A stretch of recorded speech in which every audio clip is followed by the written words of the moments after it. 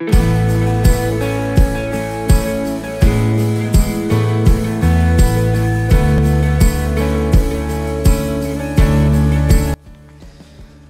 Todd with a devotional for September 11th.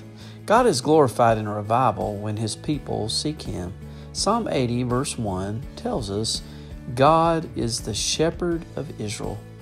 Shepherds lead their sheep, and the sheep follow, trusting the shepherd to lead them into a place of safety and abundance.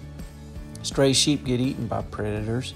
One commentator wrote, Once Marla and I were descending from Wetterhorn Peak in Colorado.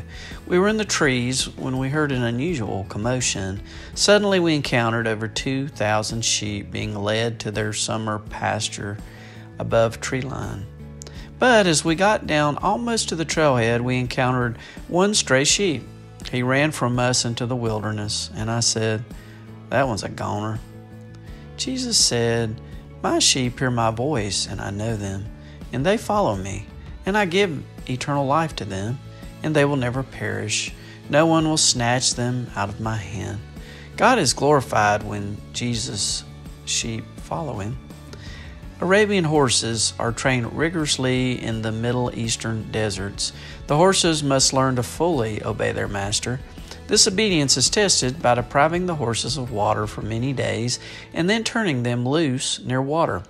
As the horses get to the edge of the water, and just before they drink of the much needed water, the trainer blows his whistle. If the horses have learned to obey, they turn around and come back to the trainer, who then gives them as much water as they need. The trainer knows what his horses need and will not allow them to die of thirst, but they must trust him. God knows what his children need and wants to supply it, but we must trust and obey him.